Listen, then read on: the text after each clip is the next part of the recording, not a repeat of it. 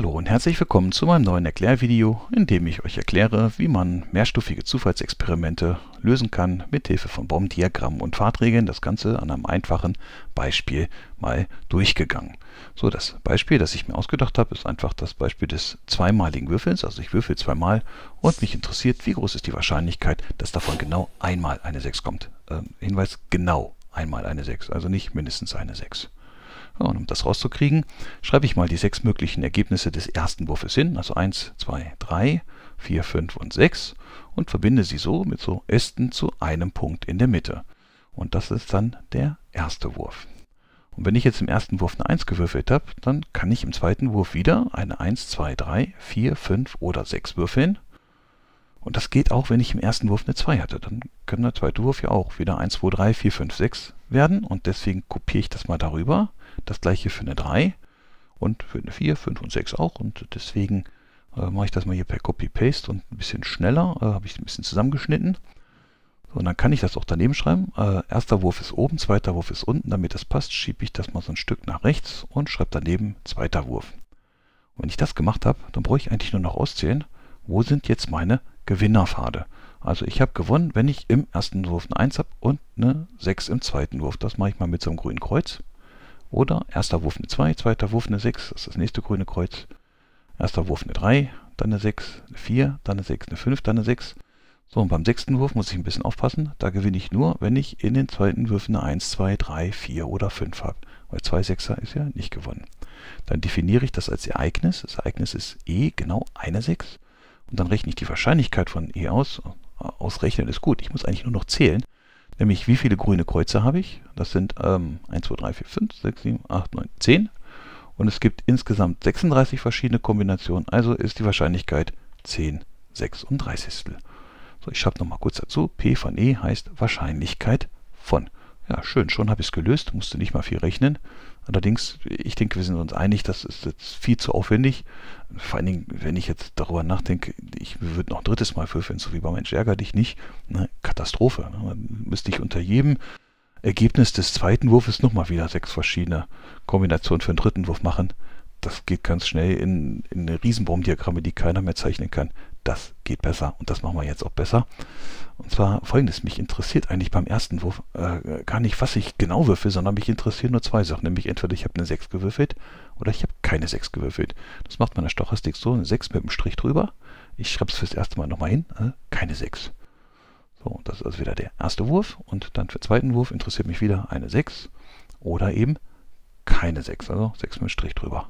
Und auch wenn ich im ersten Wurf keine 6 hatte, dann kann ich im zweiten Wurf wieder eine 6 haben oder keine 6.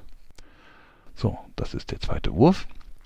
Und das ist dann auch schon mein Baumdiagramm. Nur gibt es jetzt ein Problem. Ich kann das nicht mehr so schön auszählen wie im ersten Durchgang, denn die Pfade, die sind nicht mehr gleich wahrscheinlich. Und das muss ich irgendwie berücksichtigen. Und das berücksichtige, indem ich erstmal die Wahrscheinlichkeiten dran schreibe. Die Wahrscheinlichkeit, eine 6 im ersten Wurf zu haben, ist ja ein Sechstel. Das schreibe ich dahin. Und keine 6 zu haben, ist 5 Sechstel. Und unabhängig davon ist im zweiten Wurf wieder die Wahrscheinlichkeit für eine 6 ein Sechstel und für keine 6 5 Sechstel. Und auch wenn ich im ersten Wurf keine 6 hatte, ein Sechstel und 5 Sechstel. So, wie kriege ich jetzt unten die Wahrscheinlichkeiten am Ende des Pfades heraus? Also hier für den ersten Pfad eine 6 und dann nochmal eine 6. Und dazu schaue ich nochmal oben auf mein altes, zu großes Baumdiagramm. Das, was jetzt hier ganz links ist, ist da äh, ganz rechts der Pfad, nämlich eine 6 und dann nochmal eine 6. Das ist nur ein Pfad von 36 möglichen. Das heißt, die Wahrscheinlichkeit für eine 6 und dann noch eine 6 ist nur ein 36. Und das schreibe ich jetzt mal darunter und überlege, wie kann man das aus einem Sechstel und noch ein Sechstel ausrechnen. Und das sieht eigentlich jeder ganz schnell. Das ist einfach nur das Produkt. Also ein Sechstel mal ein Sechstel.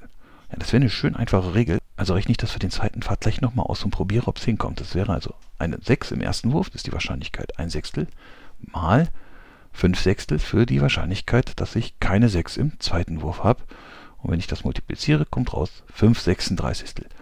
Und das gucke ich mir nochmal oben an und schaue, das ist tatsächlich, das sind genau diese fünf Ergebnisse da. Erst eine 6, dann eine 1, dann eine 6, eine 2, 3, 4 oder 5. Stimmt.